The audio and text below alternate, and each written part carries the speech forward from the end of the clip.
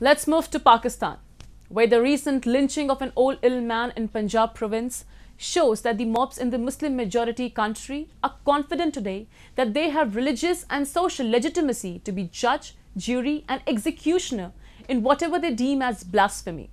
The state too is unconcerned as it uses the legislation for its own motives. A report.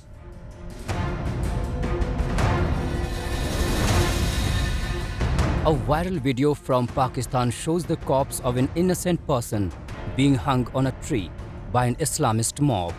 41-year-old Ilman Mushtaq Ahmad was stoned to death for allegedly burning some pages of the Quran. Though this recent incident happened in Khanewal district of Punjab province, the culture of mob lynching is spreading in every corner of the country. Just a few days ago, a Sri Lankan national Priyantha Kumara was assaulted by a mob of hundreds of people before being dragged into the streets and set on fire in Sialkot. The rising trend is being fueled in part by state organs and authorities who corset and align with radicals bent on violence instead of upholding their duty to protect communities. The recent months and years in Pakistan have progressed with continued killings in the name of Islam and the country is increasingly becoming a dangerous place to live in.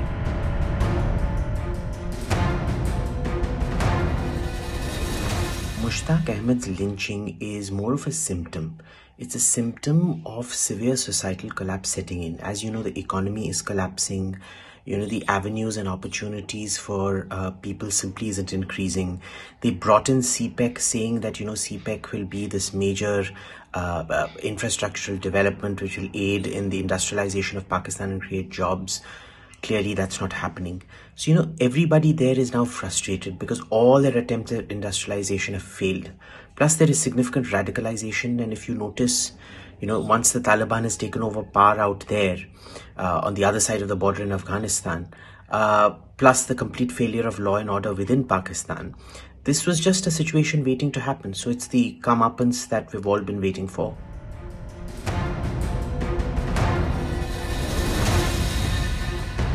The hatred in Khanewal has deep roots.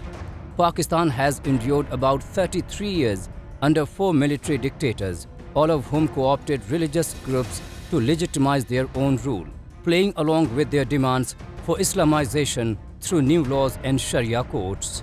Even civilian governments use these groups and their mass appeal for electoral gain, entrenching Islamic extremism.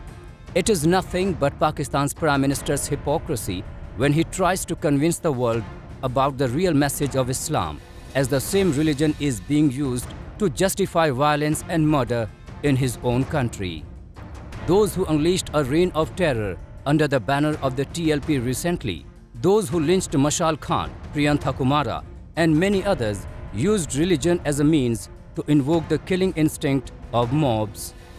Not only that, culprits who have been awarded punishment for killings are now being released under controversial Islamic laws of Pakistan, laws which have been formulated by the successive governments of the country. Recently, a Pakistani man convicted of murdering his sister in an honor killing was acquitted after his parents pardoned him. Wasim Azim had confessed in 2016 to killing Qandeel Baloch and was sentenced to life in prison in 2019.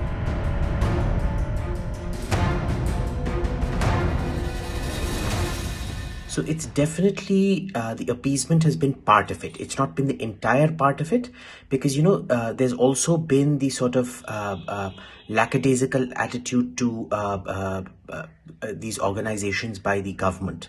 So it's not just appeasement, it's also been the indoctrination that has been happening, the promises of jobs not kept up, and the crumbling economy that have added to everything. Nothing is ever monocausal, it's all these things that have gone in to produce this sort of violent, uh, rage filled mobs that we're seeing in Pakistan, which is happening almost every week, if not every month.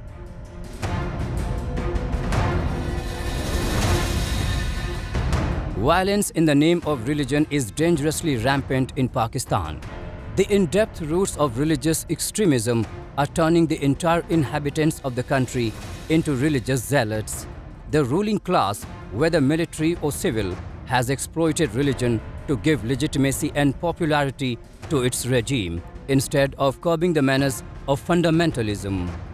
Fundamentalism, extremism and terrorism have grown so much that now it has become difficult for the Pakistani government to control this menace, which wants to take the society to pre-Islamic days.